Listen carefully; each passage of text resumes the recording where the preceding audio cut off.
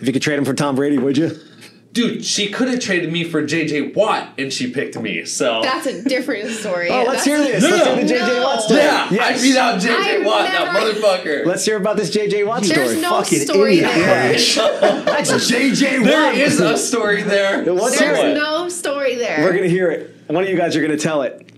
If she doesn't want to tell it, all, so you might have to step Okay, up for once in your life. so okay, No, okay. I was on Dancing with the Stars. Somehow he got my phone number, asked me out on a date.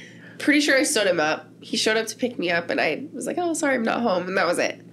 and You I, stood up. Why did you stand up, JJ Watt? I wasn't interested. Holy shit! but she's interested in me.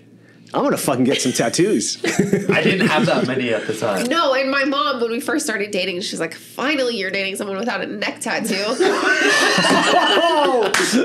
Your poor mother. Holy shit!